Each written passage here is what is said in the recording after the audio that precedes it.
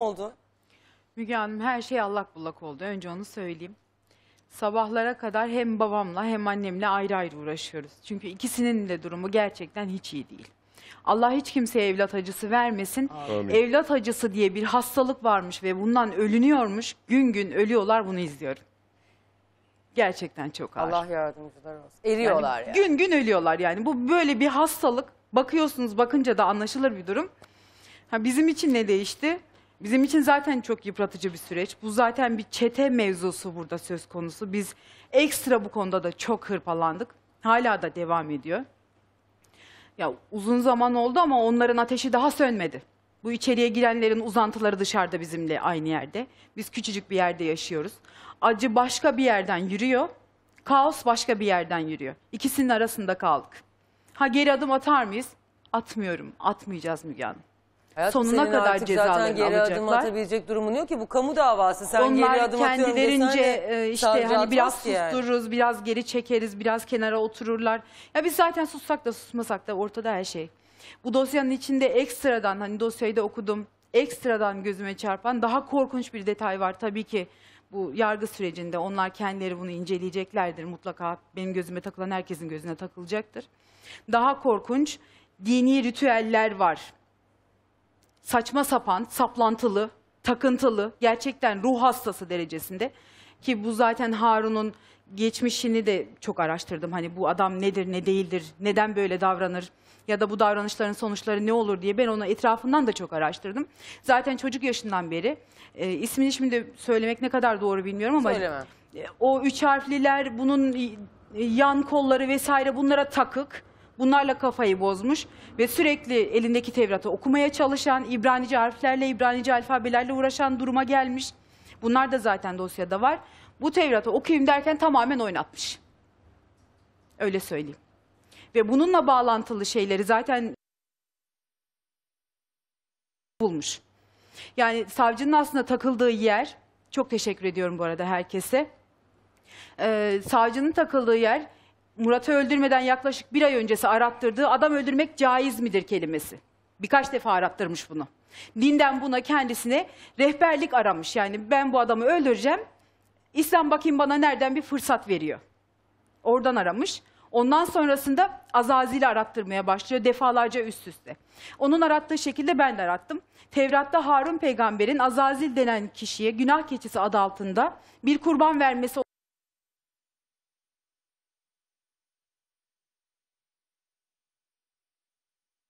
başladı bilmiyorum. Bu olayın içinde daha korkunç, daha saplantılı, daha takıntılı ki Harun'un geçmişinden de gelen böyle bir durumu var. Yani kabullenmeyi hiç kabul edemediğim bir durum da var.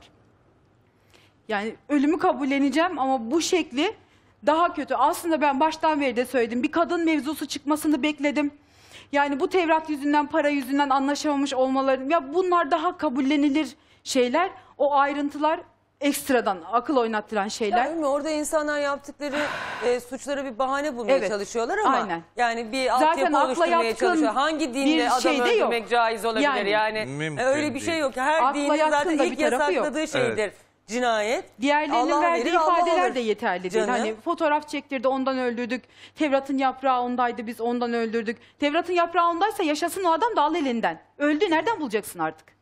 Yani onun bir mantığı yok. Çok mantıksız. Hani buna kim inanır? Anlatmış ben, işte. Ben tamamen yine Tevrat'la ilgili Tabii ki Tevrat'la alakalı. Zaten ilk Yani- günden belliydi. Evet. Bu kitap yüzünden başına bir şey geldi. Yani bunu almışlar, bunu işte pazarlamaya çalışmışlar. Evet. Bunun biliyorsunuz biz de internette başka şekilde benzer kitapların Tabii ki. satıldığını gördük. Çok büyük paralar dönüyor. Bir ara 40 milyon liradan bahsedilmiş. Yani eski parayla 40 trilyon. Yani herkesin bu böyle gözünü oynatmış Evet. bu. Acaba kaça satarız, kaça e, dağıtırız aramızda paylaştırırız falan ama işte böyle şunu unutmamak lazım. Şimdi kaçımız Allah aşkına kaçımız şimdi böyle yolda bir şey bulsak bunu yasa dışı yollarla satmaya çalışırız. Korkar insan. Ben korkarım. Bak çok şahsi Yani. olarak söyleyeyim ben korkarım. Şimdi zaten bunu hani böyle öyle satalım böyle satalım diyen insanların biraz Evet. eee, hani artık Gözü dönmüş gözü dönmüş olması oluyor, lazım. korkusuz oluyor. Aynen. Kanundan korkmuyor, cezaevine girmekten korkmuyor. Az önce Ram Bey'in dediği gibi en güzel yıllarını cezaevinde geçirecekler parmaklıklar altında, e, arkasında ama Unutuyorlar onu. Evet. Ama işte bu kadar gözü dönmüş Çok insan yüksek bir araya para geldi mi kontrolden de çıkartıyor mutlaka insanları. altından bir cinayet çıkıyor. Çıkıyor. Bir değil, iki değil, üç değil, beş değil. Buraya gelip günah değil mi analara, e, kardeşlere, eşlere ya define yapıyordu, işte dördü gittiler bizimki yok diye ağlatmaya. Ya. Ve burada hani çocukları konuşurken Ümmü siz aslında ben sizi şu yüzden de çok sevdim ailece. Siz kardeşinizin de çok hani sizin ifadenizle Evet. yaramaz bir adam Evet. olduğunu söylediniz. Yaramaz derken hani o ufaklık yaramazlıktan da söylüyorlar. Bir evin bir oğlu fazlaca Evet. şımartılmış Aynen. aslında. Ve aile hiç peşini bırakmıyor. Bak onun da bırakmamış. Evet. 33 yaşındaki adamın da. Gitme, yapma, Evet. içme, gezme ama Çocuğuma dökmedim o kadar emeği Müge Hanım. ama yok Üç işte. tane çocuğum var. Üç tane çocuğumun üçünün toplamının üstünde Murat'taki kadar emeğim yok. İşte engel olamamışsınız Engel ama. olamıyorsunuz. Bu başka bir konu. Ama biz buraya gelseydik de zaten kardeşimi muhteşem bir çocuk gibi gösterseydim ne olurdu? Tamam hatalarıyla seviyorum onu. Her haliyle seviyorum. Bağım kopmadı. Ama hala bu da seviyorum. hatalar ölümüne sebep Ha, sebebiyet değil. verecek şeyler değil. onlar- Tabii onu- ki onu, değil. Onu da ayrı bir yerde Aynen. söylüyorum. Tabii. Hani yani yine sabahki konumuza Evet. bağlantı olarak söylüyorum. 33 yaşına kadar mücadele ettikleri Aynen. bir çocuk işte. Ne olmuş olursa olsun ortada bir gerçek var. Evet içtiği zaman e, öfke kontrolü olmayan, alkol kullandığı zaman dozunu kaçıran. Yani ufak tefek de olsa bize göre ufak tefek kaldı. Çünkü biz onun halini bildiğimiz için çok şükür Harun'un yerinde de olabilirdi. Biz öyle bir şey olmasın diye çok peşinde koştuk. Çok başına bir iş gelmesin, kendisi de birine zarar vermesin diye çok peşinde koştuk. Böyle bir çocuktu. Bir yere gelip de hani sonuçta böyle bir platforma geliyorsunuz. Bunu herkes izliyor. Biri çıkıp dese ki bu çocuk böyle biri değil, şöyleydi. Kendini aklamaya çalışmak çok saçmalık. Hayır hayır Ne varsa onu bahsetmiyorum. söylemek yani lazım. O da işte bu işin içine katılmıştı. Tam Evet. tersi de olabilirdi. O Aynen. hayatta olup orada bir başkası Aynen. da ölebilirdi. Yani Tabii bu ki. işlerin sonu Kim güzel için değil. olursa olsun o bir sürpriz sonuçta. Kime patlayacağını bilemezsiniz. Ben Kavas Efendi meselesi vardı sizin programınızda işlenen. O olaydan beri de takip ederim. Özellikle Aynısı bu Tevrat diyorsun. çıktıktan sonra biz bittik zaten. Yani telefonu zaten kapanmış olması bizim için yeterliydi. Bana sorsanız Murat'ın telefonu bir saat kapanmışsa ben Murat'tan yine tedirgin olurum. Çünkü telefon bağımlısı, internet bağımlısı bir çocuk.